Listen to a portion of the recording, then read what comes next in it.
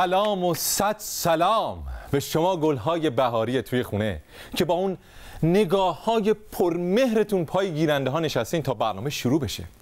امیدوارم همیشه دلاتون سبز باشه و روحتون نارنجی و خنده هاتون مثل توت فرنگی قرمز. خیلی آشنا بودین سلام و احوال پرسی ها؟ یا؟ خیلی پرملات بود. عجیبه. مگه این سلام و احوال پرسی عادی و معمولی مردم توی کوچه خیابون نیست؟ نه.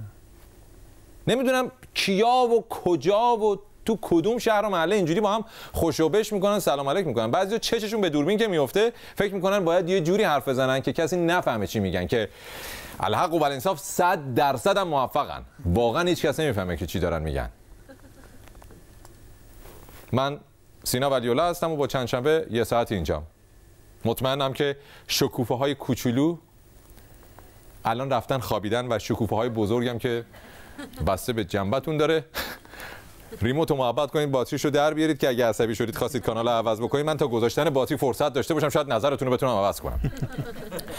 صبح که داشتم راجع به موضوع این برنامه فکر می‌کردم یاد خاطره های مختلف شیرینی میافتادم که از جلو چشم کنار نمی‌رفت. نمیذاش که ما به چیز دیگه فکر کنیم. برای همین مجبورم که برای ادامه برنامه این خاطره ها رو برای شما بگم تا بتونیم بریم سراغ باقی برنامه.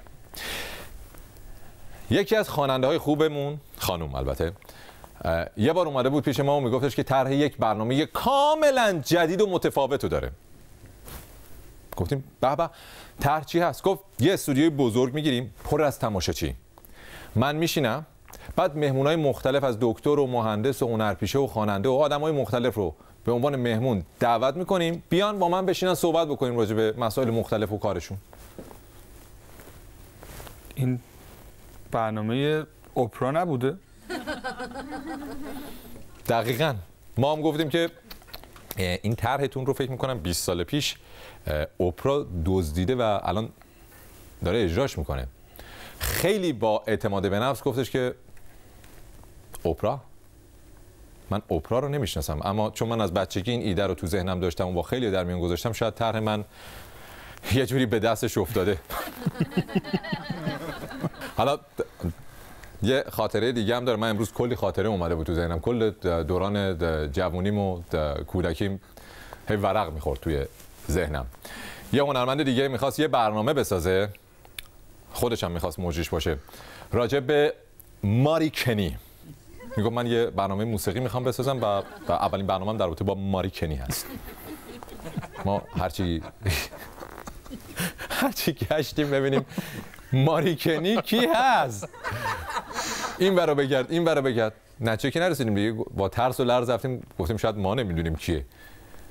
گفتیم این ماریکنی رو میشه یه آهنگش رو برای ما پخش کنی که ببینیم کاراش چه جوریه؟ یه جوری برگشت ما رو نگاه کرد عاقل در صفی که پشتش هم تو دلش در واقع پشتش نه تو دلش. داشت به ما میگفتش که ابله چطور ماریکنی رو نمی‌شناسی؟ و گفتیم خب نشون بده رفت توی اینترنت و توی یوتیوب یه ویدیو رو آورد. ما این title ویدیو رو نگاه کردیم دیدیم نوشته Hero Mariah Carey ما تقریبا میشه گفتش که من و باقی برای بچه های دفتر تا خونریزی معده از شدت فشار انقدر بیشتر فاصله نداشتیم. برگشتیم گفتیم که مجید جان این مرایا کریه نه ماریکنی مجید جان که ماشاءالله روش بیشتر از این صحبت ها بود خیلی دوباره با اعتماد به نفس زیاد ما رو نگاه کرد و برگشت گفت. دوستای نزدیکش محل ماریکنی صداش می‌کنه. موضوع برنامه این هفته در رابطه با همین قضیه است. نه ماریکنی هاشا کردن. با ما از طریق فیسبوک توییتر و اینستاگرام در ارتباط باشین. کلیه اطلاعاتی هم که لازم دارین این زیر هست. در خدمت شما.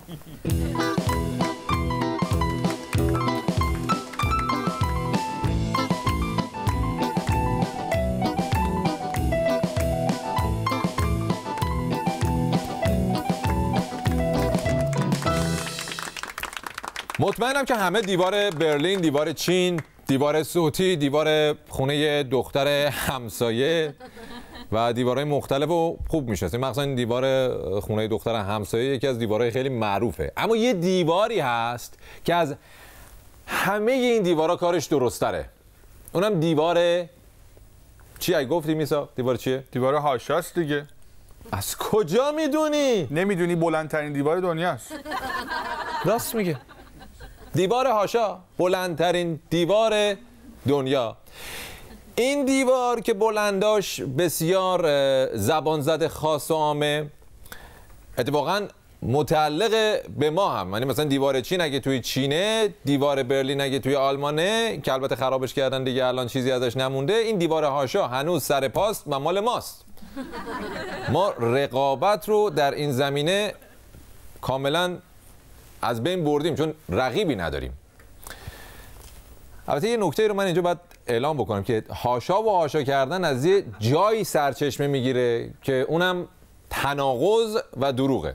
یعنی اول دروغ رو میگیم وقتی آره دیگه مچمون رو گرفتن تقش در اومد اون موقع ما شروع می‌کنیم به ساختن این دیوار. عمل بنا رو میاریم و دیگه آجر و سیمان و اینا شروع می‌کنیم به ساختن دیوار هاشا و در انتها میریم سر دیوار وای میستیم و خیال خودمون رو راحت می‌کنیم. سرعت عملمون هم در ساخت این نوع دیوارها بسیار بالاست.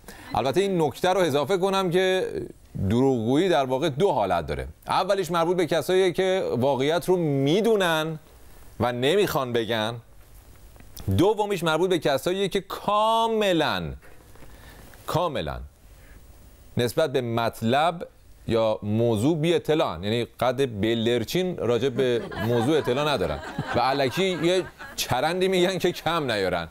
ولی موقعی که صدای تق یا همون باز شدن مچ ما می‌رسه هر دو گروه به یک شکل هاشا می‌کنن.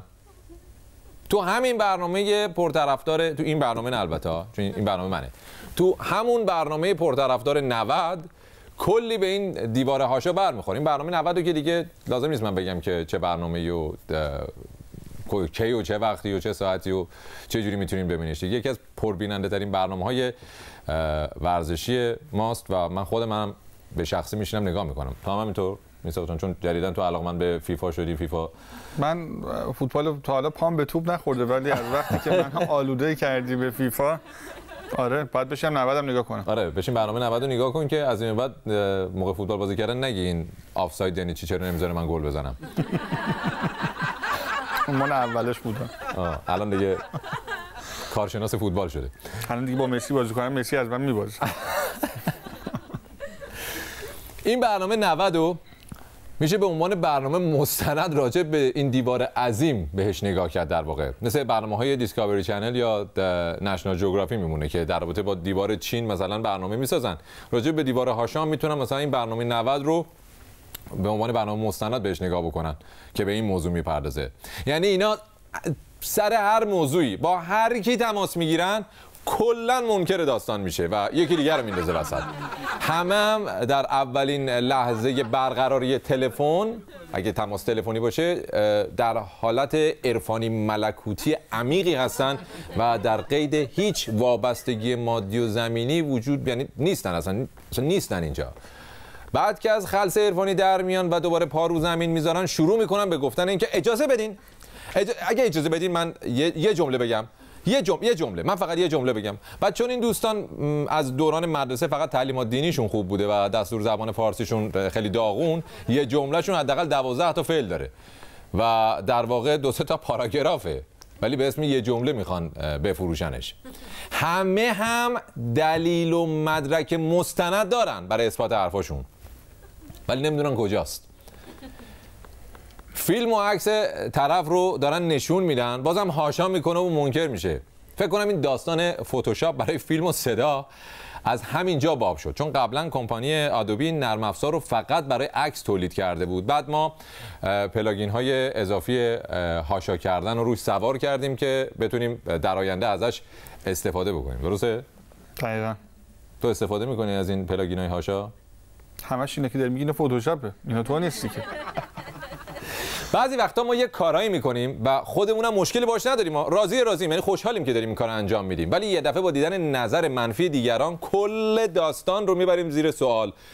می‌بریم زیر علامت سوال البته. هاشاش می‌کنیم. که البته اگه مدرک و سندی دست کسی نداده باشیم اکثرا موفقیت آمیزه. ولی اگر داده باشیم مدرک رو میگم. دیگه کارمون زاره. البته بهتر اینه که وقتی کاری رو که دوست داری انجام میدی دیگه تا آخرش پاش وایسی. نزن زیرش که تنها نتیجه ای که از این قضیه می‌گیری زایی کردن خودت. یا خودمه یا خودمونه.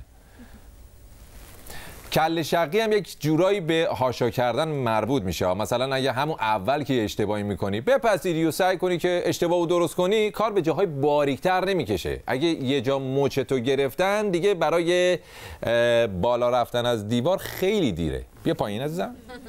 بیا پایین. بیا عزیز دلم. بیا پایین. بیا سعی کن حلش کنی. مطمئن باش با سر دیوار رفتن هیچی حل نمیشه. تازه طرف رو به خونت هم تشنه کردی نوع بانمک هاشا کردن مربوط به زیبایی میشه می‌دونی چه جوریه؟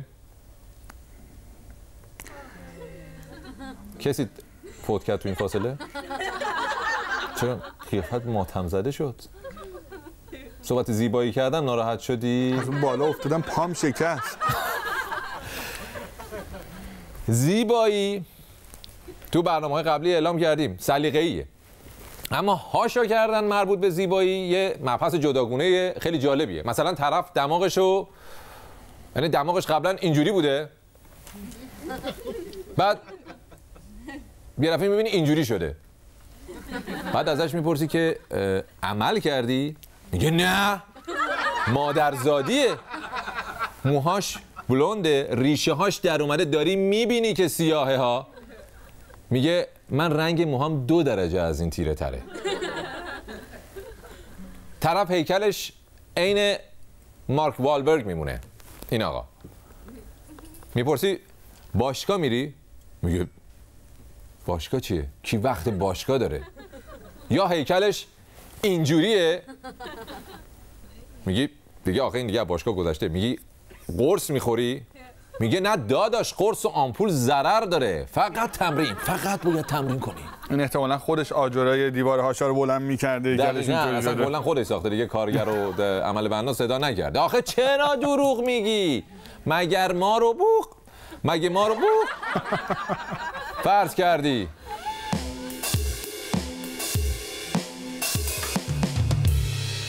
رسیدیم به عزیز دلمون. اسپانسر برنامه ببینیم سوال این هفته چیه و برنده این هفته یا برنامه قبلی چه آدم خوشبخته که قرار هزار دلار نصیبش بشه. بریم ببینیم چه خبره. آخرش هم یعنی اولش قبل از اینکه به آخرش برسیم بگم خدمتتون که اون شماره تلفن و اون ایمیله من بعد هر دفعه مثل که این قضیه رو تکرار بکنم چون نمی‌دونم چرا باورتون نمیشه. به خدا اینا شماره تلفن و ایمیل همین آی سی ام کپیتاله. با اینا تماس بگیرید. تو صفحه فیسبوک ما اگر جواب سوال رو بدین نتیجه ای آیرتون نمیشه. بریم سراغ سوال. بیشترین خرید و فروش ارز توسط کدام واحدهای پولی انجام می شود و برنده قسمت هفتم برنامه مجتبا افزلی پور ایشون دو هفته فرصت دارن تا مدارک لازم رو ارائه بدن و جایزه خودشون رو دریافت کنند.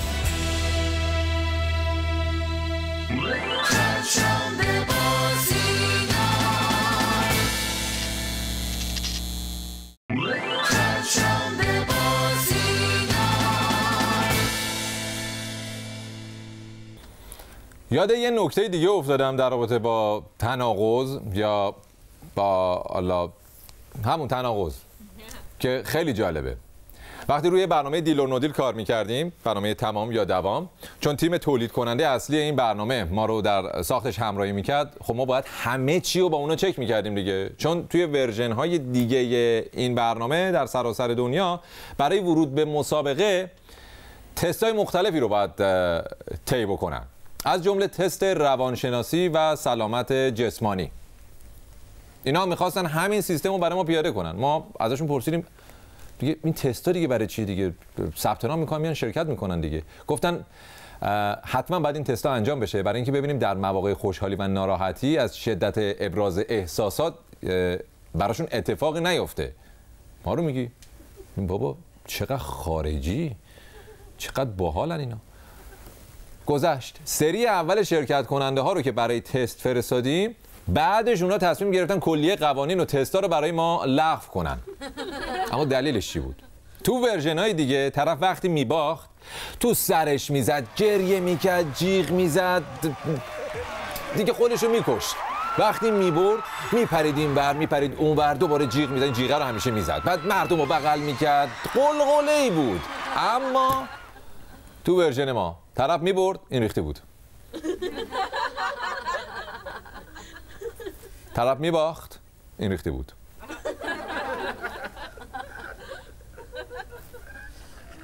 ازشون میپرسیدید هیچ حسی نداری از بردت یا از باختت؟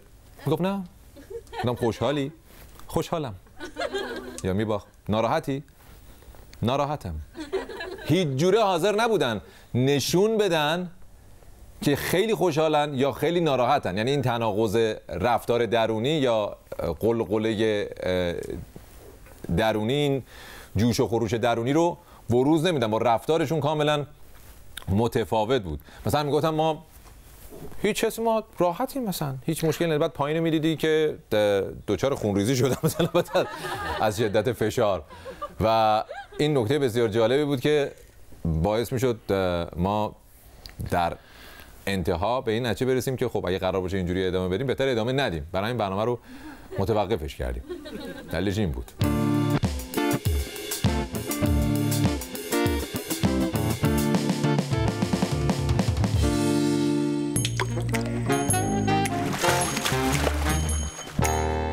رسیدیم به بخش اون بر آبگونه یعنی بریم اون بر آب ببینیم به گونه هایی که از برنامه لید نایت شو یا شبیه برنامه ما تولید میشه چه جوریه؟ چه گونه هاییه؟ گونه های آبزیه. آقای, کار... آقای ببخشید صحبتی در رابطه با گونه های مختلف کردن. چی گفتن؟ بله بله. خدمتتون عرض کنم که برای برنامه این هفته میریم سراغ جیمی کیمل. جیمی کیمل تو برنامهش یعنی تو برنامه های هر هفته هر روزش. یا فکر می‌کنم هفتگیه. این بخشش ممکنه هفتگی باشه. یه دستگاه علکی دروغ سنج رو با کاسه قشقاب درست کرده. چراغ و زنگ و این چیزا هم بهش وصل کرده. دستیارش هم که ماشاءالله سیبیل کلوف دیواز خودش لباس فرشته ها رو تنش کرده. بچه های کوچیک رو دعوت می‌کنه تا ازشون تست دروغ بگیره. بچه های بیچاره میرن اونجا می‌گیرن میشینن. و این سوالایی که ازشون می‌کنه این بچه ها با توجه به اینکه این تست دروغه و این دستگاه دروغ سنج رو کلشون بهش جواب میدن بریم ببینیم چه جوریه Hello. Hi. How are you? Good. Now, this is the Truth Fairy. The Truth Fairy is going to hook you up to this machine. Go ahead and start doing that. This is called a lie detector. You know what that is? No. A lie detector is a machine that is able to, to know if you're telling the truth or not. Okay? So I'm going to ask you to just tell the truth, the whole truth, and not a half truth. Okay? Okay. Is that comfortable on your head? Yeah. Okay, we're off to a bad start. Just is that it feels a little uncomfortable, right? Okay. What is your name? Joel, Okay, Joelle. How old are you? five and a half. And what grade are you in? Kindergarten. Kindergarten. Do you like all the other kids at school? A few not. A few not. Who do you have a problem with? Um, once I was playing on the playground, this guy was being really mean to me, so I don't like that guy. His name's Riley. Riley. Okay, Riley. All right. Anybody else? Um, no. Nobody else. Do you um, secretly love Riley? No. A little bit. Just a little A bit. little bit. Okay. Yeah, sometimes that happens when boys will tease girls at school and they're mean to them. It's because they really like them. Did you know that? No. So I have a feeling Riley has a crush on you. Mm, hmm Have you ever killed anyone? No. Okay. Do you think you ever will kill anyone? No. Okay, that's good. Do you know who let the dogs out? Yeah. Who? Who? Who?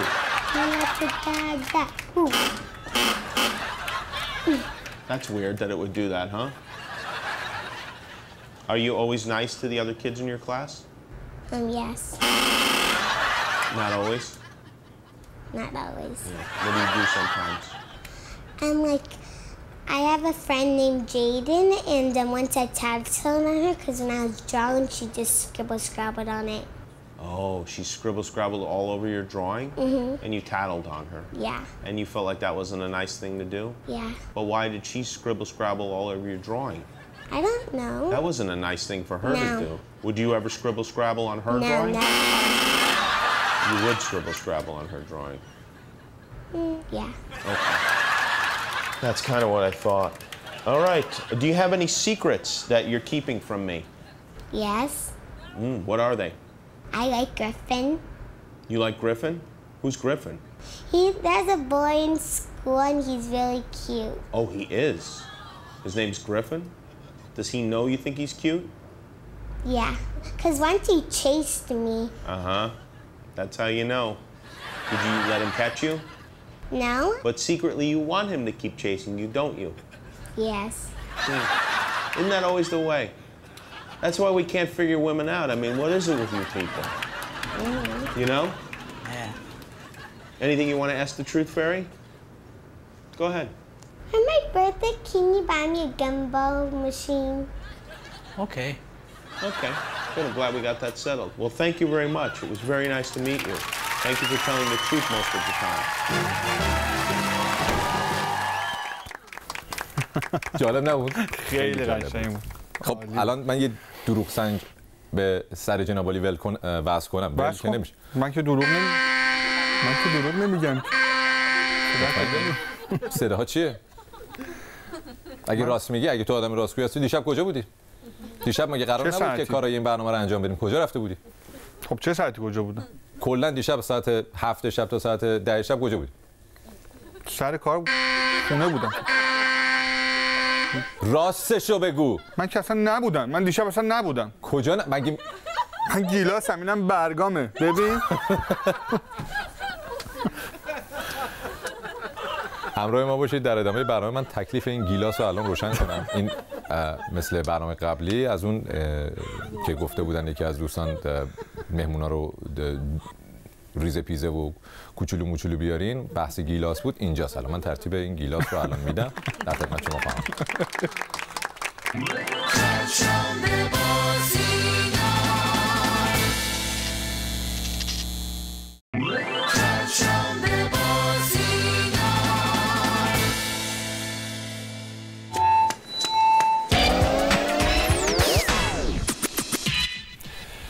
راست میگن میگن هنر نزد ما ایرانیان است و بس. خیلی چیزا البته نزد ما ایرانیان است و بس اما هنر یکی از مهمترین اه، بخشایی که در اختیار ماست به طور دربست و موسیقی هم که یکی از مهمترین بخش های هنری دنیا محسوب میشه ما به شدت درش دست داریم. خیلی هم قبولش داریم یعنی کلا یه نفر هنرمند. نمی‌دونیم مگر اینکه تو موزیک دستی داشته باشه. موسیقی کشور ما بسیار پرسابقه است. اما چند سالی سبک و سیاقهای مختلفی وارد موسیقی ما شده که بسیار هم محبوب پرطرفدار و جذابیت داره. یکیش رپه. رپرهای زیادی رو هم داریم. که کار همشون خوبه اما به نظر من یکی از بهتریناشون و با استعدادتریناشون مهمون امشب ماست. ارفان سلام. چطوری؟ خوبی؟ خوش اومدی. خب سلام. سلام. احوال شما خوبی؟ قربانت. لطف کردی اومدی. خیلی بزرگواری کردی. ما پدرمون رو در آوردیم تا تونستیم تو رو بکشیم تو برنامه. تله گذاشتیم واسه عوض می‌شدم هیچ من نمیشه خیلی گرفتار بودی فکر می‌کنم تو این آره چند آره. وقته. این مخصوصا این دو سه هفته گذشت. یه ماه گذشته خیلی درگیر بودم. یه ماه پرکار بود. البته یه- فکر می‌کنم یک سالی بود که خبری از یه ذره آره یه ذره کم شده بود میوزیک نداده بود. بودم. آهنگ آهنگ داستانه خودشو داشت کلا یه سال و نیم دو سالی بود که ولی الان این امسال خیلی پرکارتر شدم و همیشه داره خوب کار جدید. چه خبر؟ چیکار کردی؟ من می‌دونم می‌خوای برای دوستان بگو. آره کار جدید که همین حدود شاید سه هفته پیش یه میوزیک ویدیو جدید دادم سه هفته یه ماه پیش. حدود دو هفته. پیش هم یه آهنگ جدید دادم بیرون باز خیلی که- خوب بوده.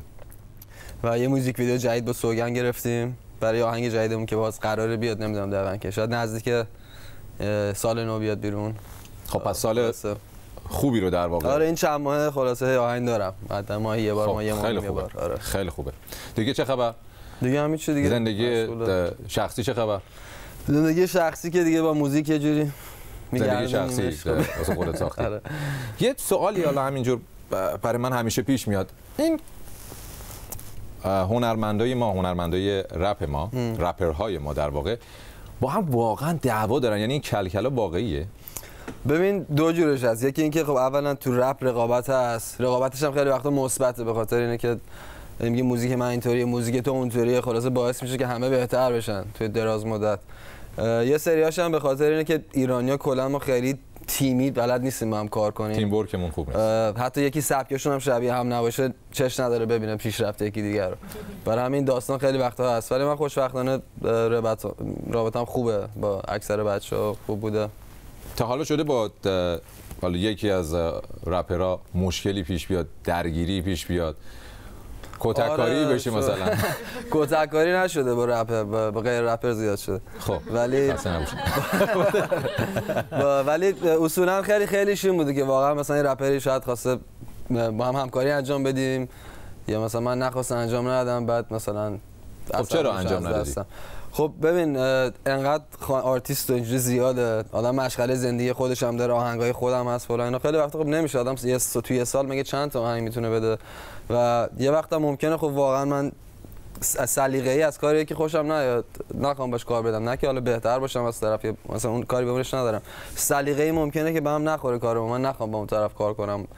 و ناراحتی نداره که می‌دونی. با کدوم هنرمندا کار کردی؟ کلا کلا. رپرها رو میگی یا با هنرمند دیگه هم کار کردی خب آره با خواننده‌ام کار کردم دیگه. با مروارید بوده، خواننده ها بوده، کار کردم. رپر نیستن؟ نه رپرها خب خواننده نیستن مگه؟ نه خب ذره فرق داره رپرها خواننده نیستن. رپرها رپرن. جدی میگی؟ من این نه نمی‌دونم خواننده ها کسایی که مثلا میگم مثل با مروارید کار کردم با نونا کار کردم با سامی بگی کار کردم با کسی کار کردم.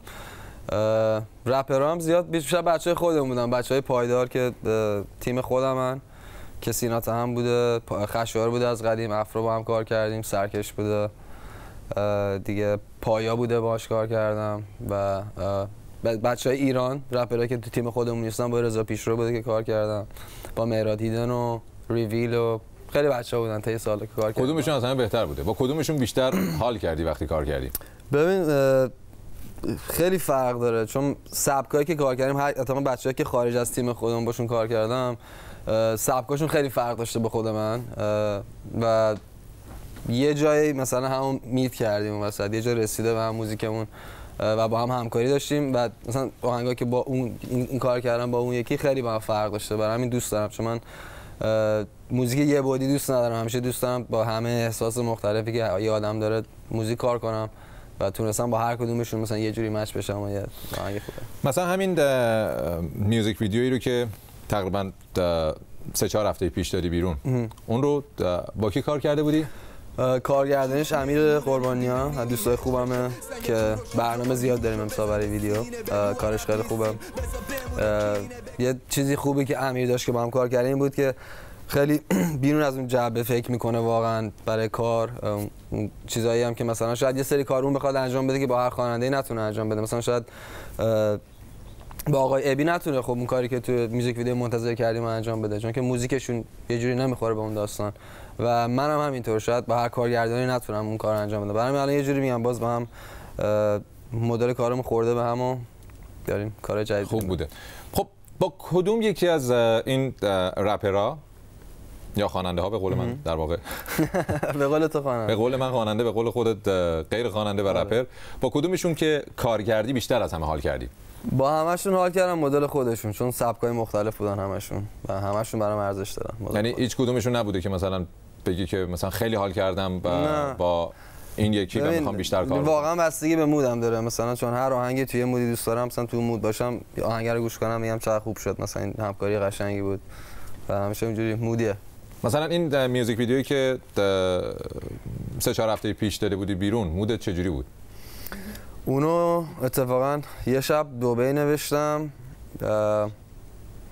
چون من با دو تا قشر مختلف تو ایران واقعا رابطه دارم. یه قشری که خب شاید خیلی مرفه باشن زندگیشون خیلی راحتتر از بقیه باشه و با یه قشری که واقعا شاید زندگیشون سخت باشه و کلا از طریق فیسبوک و جای مختلف با هواداران واقعا همه جور قشری هستن و باشون در تماسم و می‌دیدم که واقعا زندگی چقدر فرق داره برای این دو تا قشر مختلف. اختلاف و خودم هم چون که از ایران خیلی دور بودم یه شب بود که خیلی دلم تنگ شده بود دلم پر بود و خلاصه تو دو ساعت شاید کلشو نوشتم و همه با کی خوندی بیرون. این آهنگ رو؟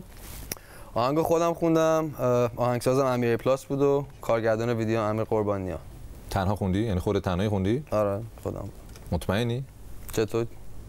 چیزی شنیدی؟ تو آهنگ که یه چیزایی شنیدم ولی البته تو میوزیک ویدیوش تو ویدیوش من چیزی ندیدم. فقط خودت بودی. ولی یه صدای دیگه هم اشتباه میومد شنیدی. چون من آهنگ خیلی گوش دادم بالاخره تا مدت چیزی نشیدم هیچ صدای دیگه یه صدای زنونه تر یه خورده. صدای جذاب این, این, این. صدا. به جا نمیارم. این صدا؟ این کیه؟ آه سوگند آره سوگندم بود تو آهنگ نقش سوگندم بود ها الان یاد افتاد سوگند مهمون دیگه امشب ماست که قراره کجای سوگند جان؟ خوبی؟ بفرم چه بی خبر؟ چه بی خبر؟ درساش اسم مامان بابا یادت اومد؟ آره آره یاد- یاد- یادم. خوبی سوگند جان می‌بینی؟ خدایی روزگار بی معرفت می‌بینی؟ یادش نمی اومد اصلا میگو آهنگو من تنها خوندم. نه. نه حالا اگه واقعا صدای سوگند نبود که آهنگ اصلا این نمی‌شد ولی حالا. خجالت ببین حالا الان الان که نشسته بغل دستش. اون موقع نبود آخه. خب چه خبر سوگند جان؟ خیلی خوش آمدید سلامتی. خیلی ممنون متشکرم. خیلی؟ صدات قشنگه و ما خیلی لذت بردیم و لذت می‌بریم. ممنون متشکرم. از صدای زیبات. مرسی. خب چه جوری شد که تصمیم گرفتی با سوگند تو این آهنگ همکاری کنیم یه سری اتفاقا یه آهنگ آهنگ موسیقیشو داشتیم. و قسمت ترجیبندش و قسمتی که سوگند می‌خونه رو نوشته بودم و سوگند شاید کی بود؟ فکر کرده بودی اصلا به چهار موقعی که داشتی مینوشتیش؟ یا بعدا؟ نه این آهنگ میگم جالب بود. اینو یه آهنگ دیگه بود که من روی همین موسیقی یه آهنگ دیگه نوشته بودم. و سوگند سه سال پیش که آمریکا بود توی همین مضمون آهنگ همین بود در اصل. ولی بعد سوگند اون موقع خوند آهنگو و رفت و هی آهنگ نیومد بیرون چون دوست نداشتم. خلاصه اون موقع که میگم آهنگو نوشتم یه شب که آهنگو نوشتم داشتم به موسیقی گوش می‌دادم و واقعا یه آهنگ جدید نوشتن روی همین آهنگ که ترجمندی که سوگند روش خونده بود کوراسش خیلی می‌خورد به آهنگو. تبدیل شد به این آهنگ. یعنی صدای ضبط شده قبلی سوگند رو روی این آهنگ یعنی استفاده کردی یا دوباره خاصی ازش بیاد شاید بخونه تنها آهنگی تا حالا داشتم که قبل از این که مثلا قسمت رپش رو بنویسم قسمت ترجیبندش رو ضبط شده بود مثلا کامل. استفاده کردی. استفاده آره، کامل بود. آره. تو چه خبر؟ خوبی؟ عالی همه چی خوب. منم خوب. عرفان چه جور بچه‌ایه؟ خوبه؟ خیلی پسر. آقا. یک گل. پارچه تجربه کاریت با عرفان چجوری بوده؟ راستشو بگین اینجا اینقدر هندونه زیر بغل نه هم نذارید. خیلی هم راحت. خب خیلی زمان بلندیه که من دارم تو کار موزیک می‌کنم. دیگه جو میدن. اول خواننده بودم بعدا دست و پا در. نه واقعیت اینه که خب وقتی که وارد هیپ هاپ شدم تقریبا اولین کسی که بسیار توی موزیکش موفق بود که ارفان بود. من باعث افتخارم بود که بتونم با ارفان جانم کاری داشته باشم. و واقعا میگم تجربه خیلی خیلی بزرگی رو تونستم با ارفان توی سبک موسیقی کسب کنم. عرفان خواننده بود تو میخوندی یا نوازنده بود. تو کاباره میشستیم اگه ناتاشا رو می‌خوند آره یا آهنگایی می‌خوند اصلا. شرما و نه می‌خوام ببینم اه، برهه زمانی دوره زمانی که مثلا به موسیقی علاقه مند شدی یعنی در واقع می‌خوام ببینم کدومتون زودتر شروع کردید. اینجوری بگم فکر کنم راحته دعوا میشه که که نمیشه اتفاقا می‌تونیم بگیم همزمان. ولی خب عرفان از لحاظ اینی که توی هیپ هاپ کار بکنه خب نفر اول بود من یکم دیرتر بودم ولی اون زمانام من خودم یه گروه داشتم به نام انت... انتقام و اون خیلی زمان؟ خیلی خشن بود. ولی خب کمتر کسایی هم بودن اون زمان که رپ می‌کردن جز عرفان بود رضا بود هیچ کس بود زد بازی بود. دیگه حضور ذهن اون چنان ندارم و ما هم دیگه تو اون زمانا بود که شروع کردیم. ولی قبلش خب من تجربه خوانندگی می- می‌تونم بگم که خیلی بیشتر از عرفان هستش. ولی من قبلش نه نه. نشد من بیا بشین این جلو. نه صاحب اصلا تو تجربه موسیقی تو چی می‌بینی؟ الان بحث قشنگ. نه شوخی می‌کنم. خب شوخی می‌کنیم کنیم. بالاخره جدی می‌کنیم تکلیف من روشن کنم اینجا من جدی شوخی. جدی شوخی. جدی شوخی می‌کنم از کجا شروع کردی؟ سوگن. گفتم که من نه جاشو. گفتم منطقه‌شو نگفتم. منظورتون چیه؟ یعنی از ایران شروع کردی یا از خارج از ایران شروع؟ کردی؟ ایران بودی؟ اینا رو منظورم. ایران که خب من از پنج سالگی کلا آلمان زندگی می‌کنم یعنی آلمان بزرگ شدم. شورم که خب پدرم معلم موسیقی بودن و دیگه من از بچگی با کارهای چی میگن توی موزیشن فامیلی دیگه بزرگ شدم و نمی‌تونم بگم از کی شروع شد می‌تونم بگم از همون بچگی شروع شد. ولی خب یه طوری بود که بالاخره توی سنین, مختلف سبکای مختلفی رو امتحان کردم و خوندم از پاپ شروع کردم سنتی خوندم کنسرت های بزرگی که پدرم توی آلمان میذاشتن باش همکاری می‌کردم. و بعدش هم که دیگه با چند نفر آلمانی آشنا شدم شروع کردم به انگلیسی خوندم به آلمانی خوندم می‌تونم بگم که واقعا توی رشته های مختلفی رفتم تا تونستم پیدا کنم که واقعا هدفم به موز... از موزیک چی هستش و می‌خوام به کجا برسم. ببخشید البته انقدر راجع به سوابق کاری صحبت کردید. سن این وسط گم شد. می‌تونم بپرسم. چند سالته چون اینجوری که گفتی بعد الان نزدیک 40 و دو سه سال می‌تونم یه سن سوال داشته باشی. ایرانی بگم. چند می‌خوره؟ چند می‌خوره؟ بذار بگم چند می‌خوره. هرچی فکر می‌کنی همیشه سه چهار تا پایین تر بگو. سیف تره. واقعا اجازه داریم 27 26 ولی واقعا خوب گفتم. گفت. فکر کردی سی- گفتم. فکر کردی 32 فکر چرا سالم ولی خوب موندی. خیلی خوب. تو چی عرفان؟ من تو- چند سالم نه. آره می‌تونیم از اینجا شروع کنیم. چند سالته؟ اینو دیگه بگیم راحت. من سی سالم. چرا سی سال. بهم گفتی چند تا چند تا لایک داره واقعا دیدم خیلی به خدا دیدم مثلا خواننده های حالا باز خانم ها رو میگیم یه چیزی خواننده مثلا آقایون میان تو مصاحبه میان چند سالته بعد مثلا میگم ترجیح میدم راجع بهش صحبت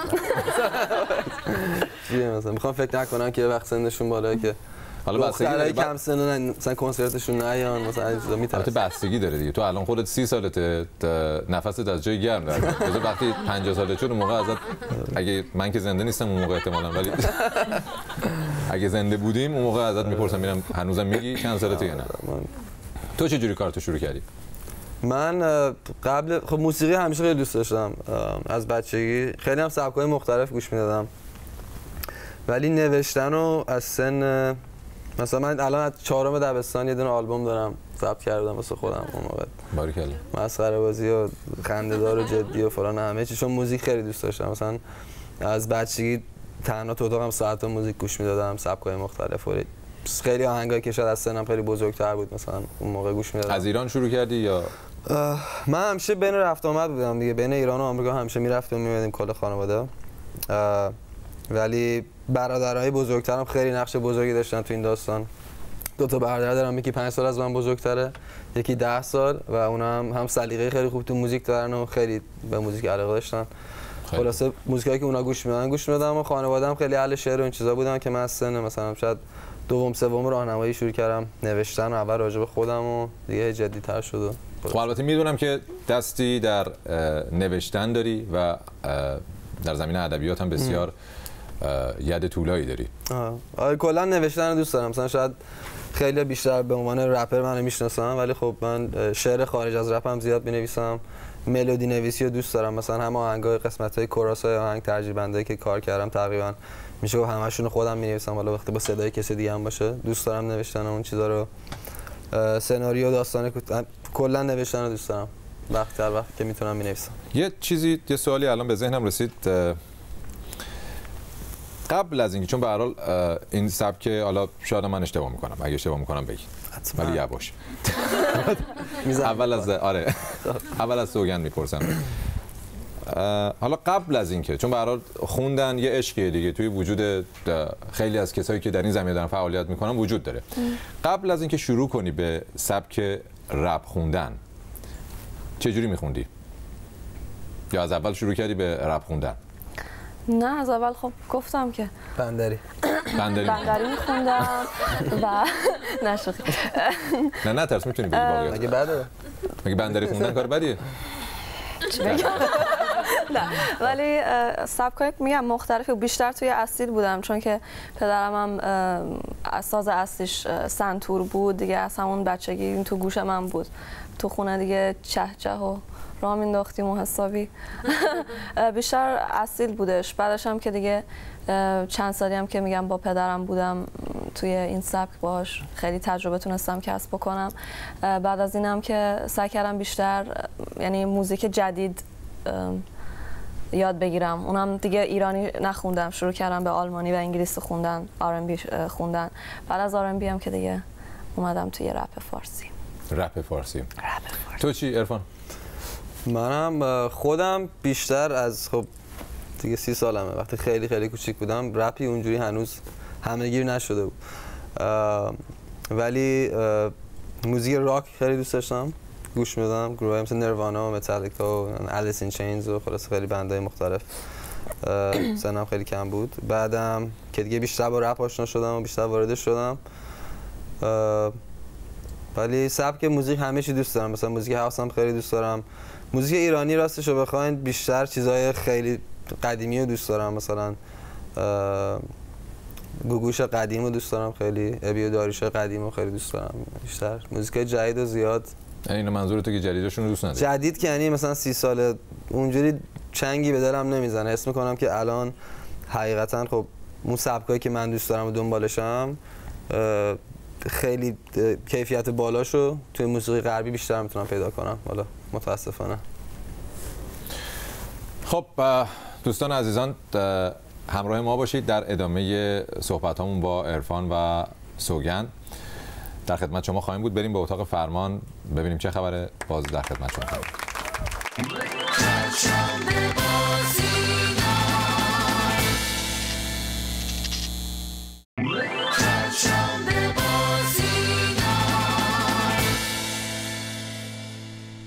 خب همچنان در خدمت دو مهمون عزیزمون هستیم که یکیشون سرزده اومد مچ مهمون اولیه رو گرفت.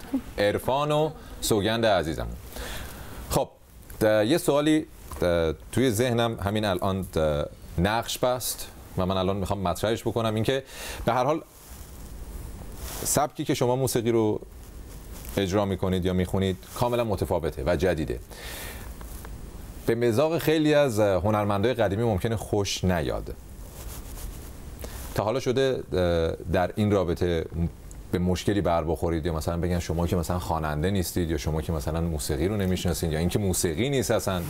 والا مثلا چند دفعه شنیدم مثلا یه بار شنیدم آقای شهرام شبپره گفته بودن چیزی شنیدم که آقای مهداد نمی‌دونم. فامیلش. آره.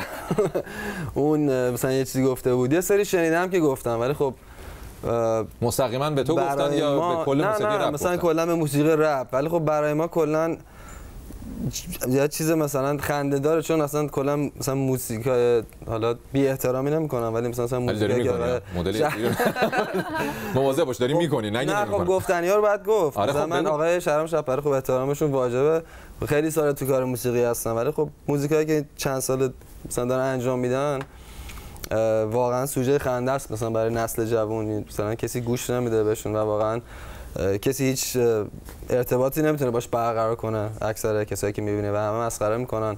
و تو موقعیتی نیستن که مثلا شاید یه سبکی مثل سبک ما رو بخوان بگم که مطمئنی همه. مسخره می‌کنن یا مثلا حالا یه قشری که موسیقی تو رو دوست دارن همه که نه که حالا همه مسخره می‌کنن چون به هر حال خب. شهرام شبپره مثلا یکی از خواننده‌های بسیار پرطرف من خودم به شخصه. تا حالا هیچ کس. ندیدم بگه شهرام شبپره رو دوست قابل احترامن ایشون چون که خیلی سال تو موسیقی ایران هستن ولی کارهایی که تو چند سال گذشته انجام میدن یه سری آهنگ خب شاید خیلی پرطرفدار داشته باشن نه اصلا خب کاراش به هر حال برای سبک خودش به نظر من یکی از بهتریناست بله، ولی بله. حالا ممکنه کارهای جدیدش شما خب شاید بیشتر دوست داری اون سبک رو بیشتر نه بیشتر من دارم به عنوان یک من اینجا در واقع اجازه بدین؟ قاضیه. قاضی دادگاه شدم. میگم منم قصد بی احترامی ندارم فقط دوستم حرفم روک بزنم نه خیلی خوبه. خیلی خوب. من فقط دارم میگم اینجوری بگم شاید بهتر اینطوری بگم. بگو بگو. امروز آقای شهرام شبپره توی اوج موزیکشون نیستن خب؟ بله، درسته؟ خب، فکر می‌کنم نیستن این- دیگه آره. شاید تو مثلا 15 20 ساله که نیستن دیگه.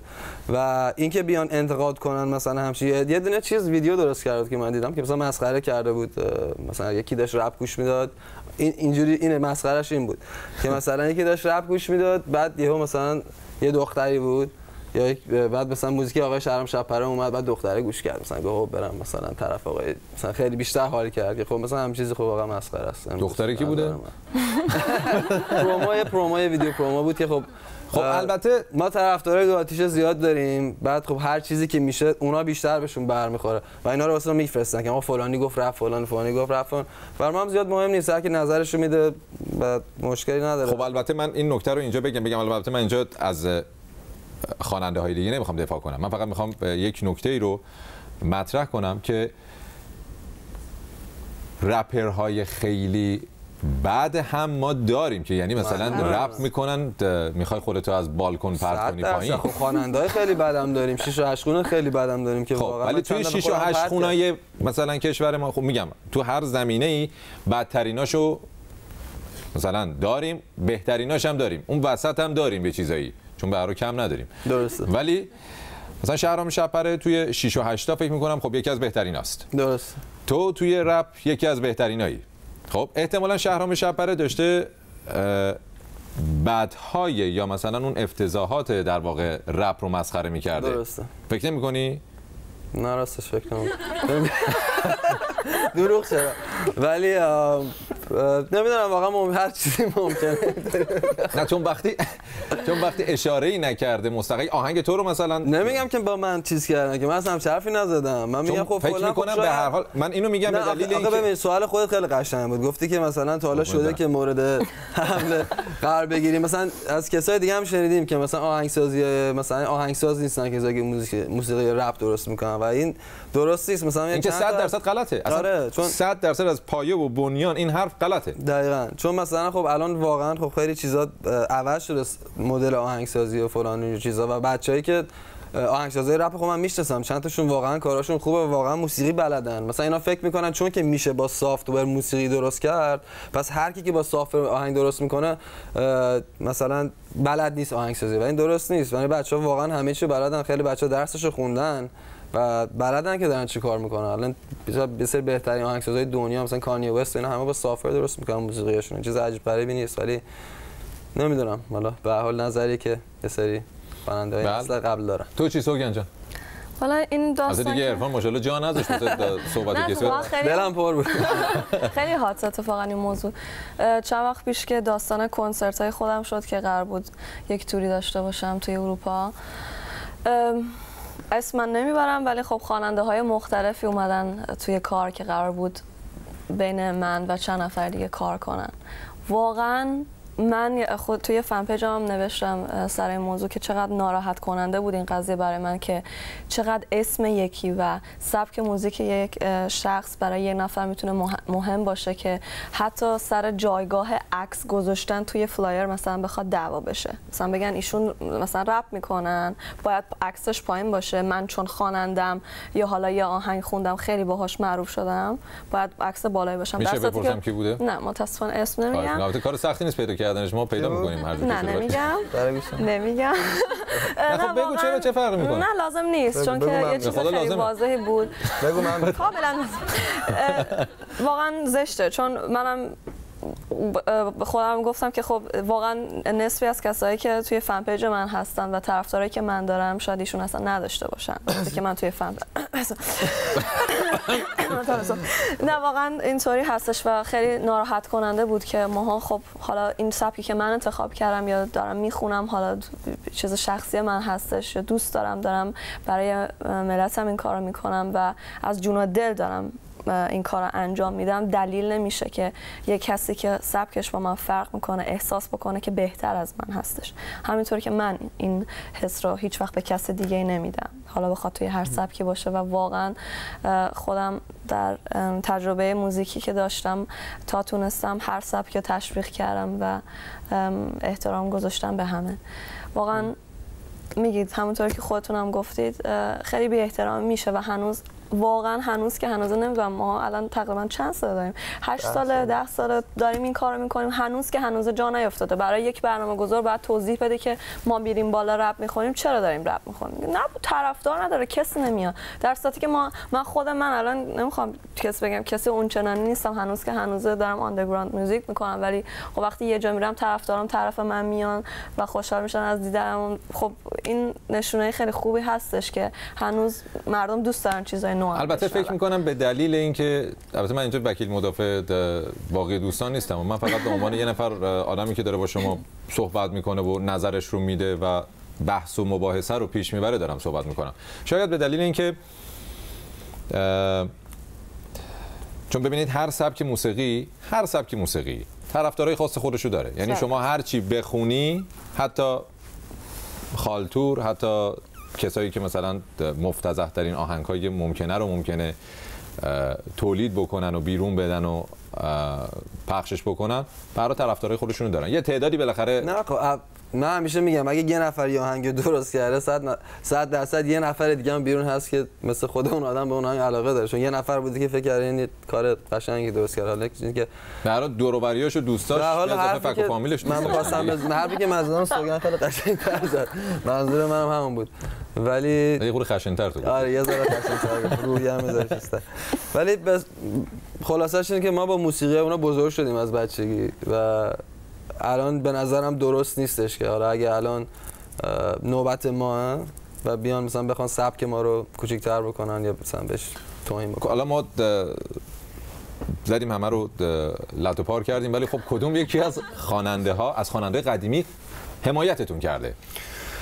حمایت خاصی ندیدیم والا از هیچ کدوم از خواننده قدیم واقعا هیچ حمایت نکرده ولی من خیلی ها رو خب از نزدیک خواننده رو باشون آشنا شدم و از طرز برخوردشون مثلا آقای ابی من خیلی احترام دارم برشون ابی که واقعا خیلی. واقعا هم واقعا آدم خیلی خوب و نازنینی خانومشون خانم محشید پسرشون همه رو میگم. همیشه از نزدیک وقتی صحبت می‌کنیم خیلی حمایت کردن. همیشه گفتم مثلا موزیکاتو برام بفرست از دور. چطور؟ از دورم دست تکون دادن نه ولی واقعا میگم مثلا اینجوری بودن. خیلی خواننده دیگه هم که باشون آشنا شدم همیشه میگم. خیلی خوب بوده. ولی حمایت خب خارج از اون هیچ وقت نه که بگم من ولی کلا رپرها حمایت خاصی از طرف خواننده قدیم خواننده که شاید قدرت زیادی دارن توی بازار موزیک ما نداشتیم. چرا فکر می‌کنی؟ چرا فکر تو چرا فکر می‌کنی اینجوریه؟ شاید حالا من مثلا یه نظر پرتی رو میگم. شاید به دلیل اینکه موسیقی رپ اونقدر با سازهای مختلف دست و پنجه نرم نمی‌کنه مثلا مخصوصا توی کنسرت. یعنی مثل نه راستش خب اتفاقا میگم تو موسیقی رپ کسایی که واقعا آهنگسازی درست خیلی از چیز مختلف استفاده می‌کنن و ما هم دوست داریم که توی کنسرتامون یه band کامل داشته باشیم. اینا خیلی خیلی قشنگتر میشه یعنی یه کنسرت بود که هم من بودم هم سوگن بود. یه tour ی بود که دور سوئد داشتیم. و موزیکمون play می‌شد در این حال band م live می‌زد و خیلی بیشتر جون می‌داد به موزیک ما. من فکر کنم خیلی خلاصش و حقیقتش این باشه که شاید با موسیقی ما ارتباط برقرار نمی‌کنن گوش نمیدن خودشون و تحت تاثیر شاید قرار نگرفتن جوری که بچه های نسل خودمون یا مثلا همسن و خودمون ارتباط برقرار می‌کنن با حرفای ما. فکر کنم خیلی خلاصش این باشه. مثلا خب شاید آقای ابی آقای داریوش موزیک رپ خب فکر کنم احتمال خیلی زیاد گوش البته من. خودم به شخصه بذار من. خودم به شخصه بهت بگم که داریوش رو چون من داریوش رو د- خودم به شخصه به عنوان یک هنرمند خیلی دوستش دارم و باشم در روابط نزدیک و دوستانه ای داشتم درست می‌دونم که بسیار حمایت می‌کنه موسیقی رپ رو یعنی من خیلی از آهنگ ها و ترانه ها و موسیقی های جدید سبک جدید مخصوصا رپ رو داریوش به من نشون داده. من؟ حتی یادمه که. مثلا برام پلی کرده گفته اینو گوش بده ببین چقدر جالبه چقدر خوب خونده چقدر مثلا قشنگ تنظیم شده. یعنی مثلا خودش دنبال روی مثلا کارهای جدید هست. حالا ممکنه مثلا چون هنرمندیه که زیاد خودش رو در محافل عمومی نمیاد صحبت. نمی‌کنه و مطرح نمی‌کنه. ولی در پشت پرده کارهای همه شماها رو دنبال می‌کنه موسیقیاتون رو دوست داره و همیشه هم حمایت کرده. همیشه. یعنی من به شخص من این دیدم. ابی هم که واقعا تکلیفش آره مشخصه. خواننده مورد علاقه من هستن. واقعا خانم گوگوش و آقای داریوش و آقای ابی که اتفاقا چند شب پیشم با سوگن کنسرت داریوش بودیم خیلی هم خوب بود خیلی خوش گذشت. بسیار خوب بود. منم آره. عالی بود. وصف کنسرت رو شنیدم ولی دیگه خدمتتون عرض کنم. یه سوال دیگه هم توی ذهنم دوباره همین الان در حال نقش و نگاره ذهن من. همینطور نقش میبنده و منم خلاقی هستی. آره همینجور خلاقیت هی. تراوش تراوش رو نمی‌دونم و به تکاپو افتاده و داره خلاقیت میریزه از سر و کله من بیرون. خب. یه مبحث دیگه هم هست اونم اینه که موسیقی رپ حالا برای آقایون که یا برای پسرها یا برای مردها خواننده های یا رپرهای مرد موزلات جداگونه خودش رو داره. موسیقی کلا برای خانم ها که در کشور ما خودش به طور کلی زیر سوال و پشت پرده و مشکلات زیادی هست. دیگه رپ هم بهش اضافه بکنی فکر می‌کنم اینا همه سه برابر بشه و دردسرا بیشتر و بیشتر. واقعا. نکته خیلی جالبی هم. الان اشاره کردید. اتفاقا شما چقدر update ی شما. مجبورم از موضوع های update هم صحبت, صحبت کنم. اینطور هستش که من خب من زمان اول اوایلی که شروع کردم به رپ کردن اینطور بود که اول قیافمون رو نشون نمیدیم نمی‌دادیم. از ترس اینی که خب حالا ملت چی فکر می‌کنن و راجع به اون چی حرف می‌زنن و تا یک سال اول کلاها همه پایین تیپ پسرونه. شاید هم درست نبود ولی خب باید اینطوری شروع می‌کردیم. تا اینی که یواش یواش چهره رو نشون دادیم یواش یواش قدرت مثلا اولین آهنگامون فقط یه قلوب آب بخوری؟ مرسی رفیق. بخور از بخور راحت باش. اولین آهنگامون همش اه، رپ بود. بعد من شروع کردم صدای خودم رو به اجرا گذاشتن که تنها رپر نیستم و حتی روی خوندنم هم خیلی چی بهش میگن؟ کار کردی کار و- تسلط داری. دقیقا تسلط دارم. ولی خب میگم به خاطر اینکه 99 درصد کسایی که الان توی این سبک موسیقی هستن پسرن برای من یکی به شخصا خیلی سخت بود که وارد این قضیه بشم یکی اینه که خب متاسفانه دیدگاه مردم عزیز ما در حالا داخل ایران و غیر از ایران نمی‌دونم چیه چطوریه که زن رو داخل دیوار. داخل دیوار. یه طور دیگه می‌بینن. لای درز آجر.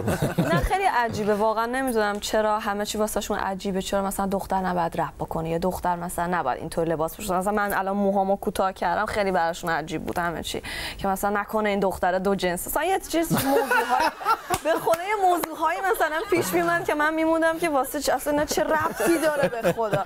یا مثلا من خودم الان تو این چندین سال اواخر با خیلی رپرهای خیلی خوبی تونستم همکاری داشته باشم که باعث افتخارم برای من بود. ولی دقیقا یادمه هر آهنگی که از من اومد بیرون طرف شد دوست پسر من من باهاش ارتباط داشتم من باهاش ازدواج کردم.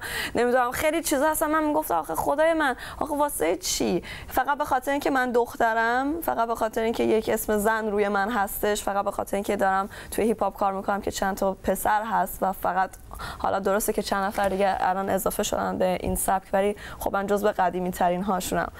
ولی واقعا بعضی وقتا خودم دیگه کم میارم یعنی انرژی دیگه ندارم. وقتی یه سری از چیزا شنیده میشه یا گفته میشه به خودم میگم واقعا چقدر مغزا هنوز بسته است چقدر هنوز جا داره فرهنگ ما برای یک سری از چیزا که باز بشه. ولی خب من الان اومدم که خیلی چیزا رو باز کنم. خیلی هم سخته برام. من یعنی خیلی حرفا رو باید روی خودم نیارم. خیلی باید سکوت بکنم. خیلی بحثا رو نباید بکنم. ولی تا اینی که ببینم کی قراره این موضوع خب جا پس بذارید من همینجا یک نکته ای رو مطرح بکنم. ما اصلا اگر می‌دونستیم سوگن انقدر حرف داره یه برنامه رو کامل اختصاص می‌دادیم به سوگن برای همین همینجا من از سوگن دعوت می‌کنم که هفته دیگه محبت کنی یک بار دیگه بدون این آقا پسری که یادش نبود تو رو مهمون برنامه ما من باشی. سورپرایز. آره تو این این دفعه دفعه تو این دفعه تو سورپرایزش کن. من دارم میگم عوض ارفان نبوده که نه. بعد مفصل راجع به صحبت بکنیم. قول میدی؟ قول. همینجا من به بینندگان عزیزم قول میدم که هفته بعد من دوباره سوگن رو در برنامه دعوت بکنم و به طور مفصل این بار به مسائل مختلف موسیقی رپ کشورمون به خصوص در رابطه با موسیقی خانم ها خواننده های خانم یا رپرهای خانم خیلی جدیتر صحبت بکنیم. ولی این نمک و چاشنی شوخی رو هم بهش اضافه کنم. خشونت و انقلابی می‌خوای زیاد بر... انقلابی برخورد بکن ولی چاشنی شوخی رو هم قاطیش بکن که چون من آدم شوخی هم کلا من زیاد خودم همینطور خیلی. آره. من ج... وقتی جدی میشه بحث من اصلا شروع می‌کنم به نمی‌دونم والا وضعیتم چی الان. من, من اینجا چیکار می‌کنم؟ چرا منو انداختن این وسط پس من این چشمو خیلی گرفت می‌تونم یه دست این میکروفون؟ بفرم کار می‌کنم کار می‌کنه؟ کار که والا اونقدر نمی‌کنه ولی خب دکمه‌شو من. می‌زنم تا توش برنامه بعد. کار نمی‌کنه. نه، کار که می‌کنه. بلاکش آن با کی تماس می‌گیریم؟ اینو الان تماس بگیری از بیرون میان دنبال. از بیرون میشه بیایم خیلی هم جالب. خب. خیلی جالب مصاحبه ما یکی از طولانی ترین مصاحبه های برنامه چند شنبه با سینا بوده و. سیر هم نمیشیم ما خیلی پر حرفی کردیم خیلی نه. اتفاقا خیلی هم بحثای جالبی رو مطرح کردیم و صحبت های بسیار فکر می‌کنم جذابی بود ولی وقت برنامه اجازه نمیده بله. ببخشید دیگه من واقعا. حالا ما. که هستیم بغلیم خلاص خیلی سری من فعلا هفته دیگه قول سوگن رو گرفتم. تو هم اگه فرار نکنی از فردا ما دوباره در به در دنبالت بگردیم. یه دفعه بعد بیای توی برنامه که با هم دیگه اصلا یه پلی استیشن فیفایی بازی کنیم. یه شوتر باشه. شوتر شوتر دوست داری. چه بازی می‌کنیم Call of Duty Halo البته خیلی سال دیگه وقت نمی‌کنم ولی خب هنوز که هنوزه. هنوزم پیر داستانی و برای دود از کنده بلند میشه به هر حال ما- خیلی خوب باشه ما Call of Duty واسه جور می‌کنیم. خیلی خوب. خوبه؟ خیلی لطف کردی. قربونت. مرسی قربونت برم من. خیلی لطف کردی. محبت کردی. دوستان عزیز همچنان همراه ما باشید. در ادامه برنامه در خدمت شما خواهم بود.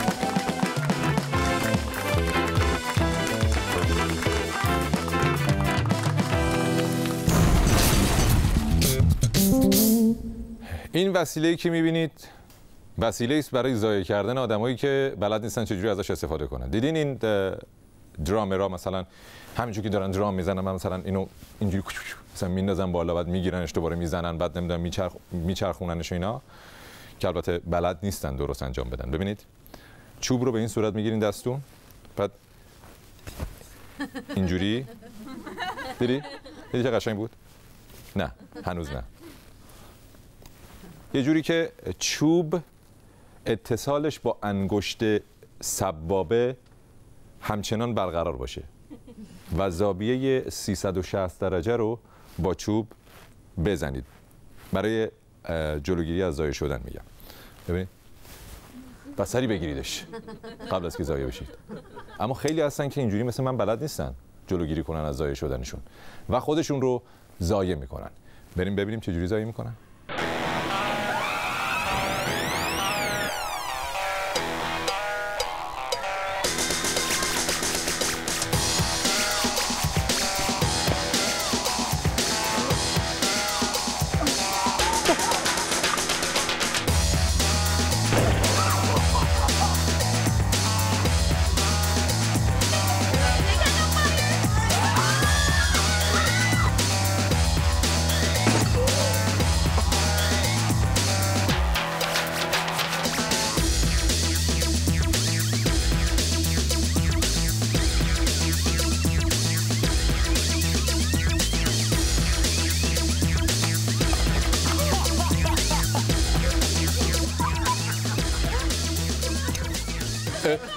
خب یه خبر بره میای تو استودیو. عزیز دلم. عزیز دل برادر و خواهر و همینطور بقیه اعضای خانواده. این چه کاری آخه؟ حیثیت من می‌خوای ببری؟ این چه حرکتی برای حسن ختام این بخش من یک بار دیگه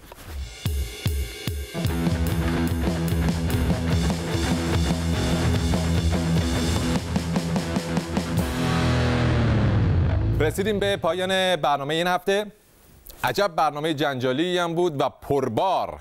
پربار. یعنی خدا رو شکر که با خون و خونریزی به پایان نرسید. نکته ای رو من خدمت شما دوستان عزیز بگم. برنامه ما خب به هر حال بخش های مختلف و متفاوتی داره. ما موقعی که برنامه رو برای پخش ادیتش می‌کنیم اضافه هاشو توی یوتیوب و توی فیسبوک می‌ذاریم که می‌تونید اضافه ها رو اونجا ببینید اگه دوست دارید. اینو خدمت شما عرض بکنم. نظراتتون رو و همچنان مطالبتون رو در فیسبوک، توییتر و اینستاگرام برای ما به اشتراک بذارید. هشتگا رو قسمتون میدم به هر کی که دوست دارید فراموش نکنید که تا الان هیچ کس به یاد نداشته. هشتگ چند شنبه هشتگ سینا بیلش و هشتگ فارسیوان تیوی در اختیار شماست. ما منتظر انرژی گرفتن از شما هستیم.